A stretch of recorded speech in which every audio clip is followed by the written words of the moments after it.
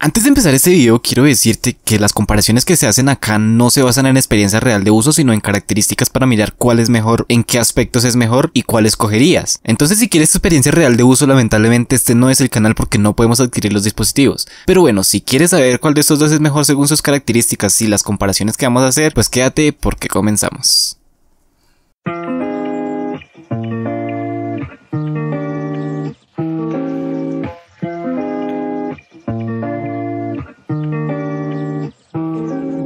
El día de ayer les dije en las pestañas de comunidad que qué comparación quería que hiciéramos. La más votada fue justamente la del Poco X3 GT versus el Xiaomi Mi 11 Lite 5G. Vuelvo y lo digo, Mi 11 Lite 5G, no en su versión Mi 11 Lite normal, sino el 5G. Entonces hoy vamos a hacer la comparación de estos dos dispositivos. Ustedes ya saben cómo es la dinámica acá. Hablamos un poco de cada uno y comparamos aspectos importantes como lo es la pantalla, el procesador, cámaras, etc. Así que mete la intro.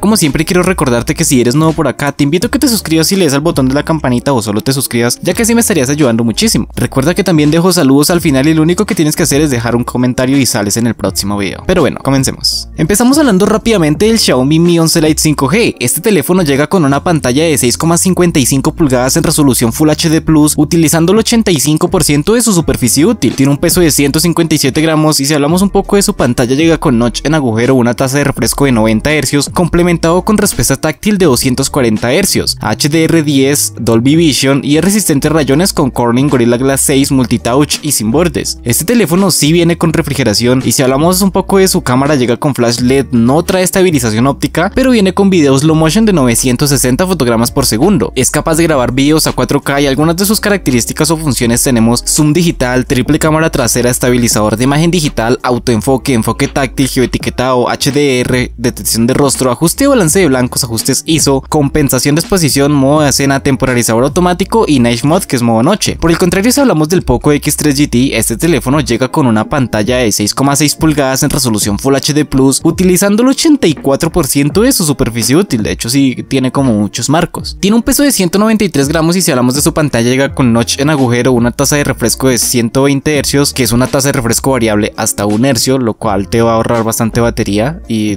va a estar muy bien también. Complementado con respuesta táctil de 240 Hz, es resistente a rayones con Corning Gorilla Glass 7 Victus multitouch y sin bordes. Este también llega con refrigeración y si no estoy mal es con refrigeración líquida y además de esto en su cámara viene con flash LED, no trae estabilización óptica pero viene con videos slow motion de 960 fotogramas por segundo. Es capaz de grabar videos a 4K y algunas de sus características son zoom digital, triple cámara, ultra estable video, estabilizador de imagen digital, enfoque manual, autoenfoque, enfoque táctil, detección de rostro, ajuste y balance de blancos, disparo continuo, ráfaga, compensación de exposición, modo escena, temporalizador automático, HDR, RAW, fotos panorámicas y etiquetado, Night Mode que es modo noche y ajustes ISO. De hecho sí tiene varias características, pero bueno, pasémoslo rápidamente a la comparación. Si hablamos de su primer característica que sería el peso, que para algunos es importante y para otros no, pero para la mayoría sí es importante, el Mi 11 Lite 5G no pesa nada con 157 gramos, mientras que el Poco X3 GT con 193, punto para el Mi 11 Lite 1.0. Si hablamos de su superficie útil, el Mi 11 Lite utiliza el 85% respecto al tamaño de su pantalla, mientras que el X3 GT utiliza el 84% respecto al tamaño de su pantalla, por lo cual el punto es para el Mi 11 Lite. Si hablamos de su certificación contra agua, polvo o lo que sea, el Xiaomi Mi 11 no trae ninguna certificación, mientras que el Poco X3 GT, aunque sea una IP53 porque es la que trae, aunque no sea mucho, pues trae una certificación, por lo cual el punto es para el X3 GT. Si hablamos de su pantalla, el Mi 11 Lite 5G monta una AMOLED con una relación de aspecto 29 y una resolución Full HD Plus de 1080 x 2400 píxeles, teniendo una densidad de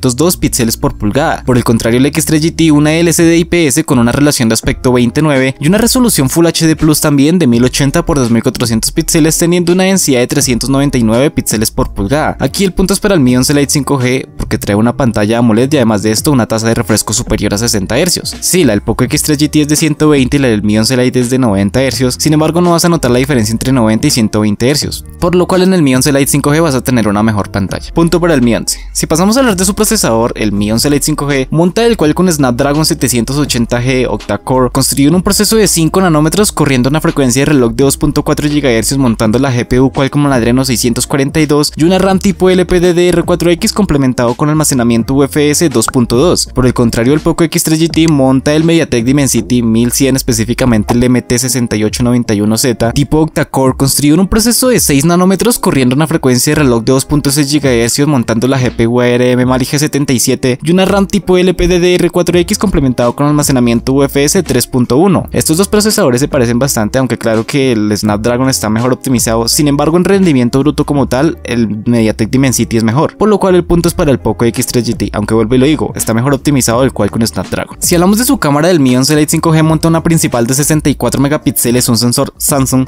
con apertura focal 1.79, por el contrario el Poco X3 GT monta una también de 64 megapíxeles, un sensor Omnivision con focal 1.79. Ahora, estas dos cámaras se parecen bastante también por su apertura focal, entre otras cosas que lo hacen parecer bastante, aunque claro que el Poco X3 GT tiene más funciones y tiene mejor estabilización hablando de video. Pero aquí lo vamos a dejar en un empate. Sin embargo, si tuvieras que elegir entre estas dos una cámara como tal, la del Poco X3 GT es ligeramente superior, vuelvo y le digo, ligeramente. No vas a notar una diferencia grande de una cámara a la otra. La única diferencia que vas a notar sería la estabilización, pero pues tampoco es que sea mucha la diferencia, por lo cual lo dejamos en un empate. Si hablamos de su conectividad con redes 5G, los dos son compatibles, así que les dejamos un empate. Pasando a hablar de su carga, los dos son de carga rápida mediante USB tipo C, la del Mi 11 una de 33 watts, mientras que la del Poco X3 GT de 67 watts. El punto es obviamente para el Poco X3 GT. Por el contrario, hablando de su batería, el X3 GT monta una de 5000 mAh, mientras que el Mi 11 Lite 5G de 4250 mAh.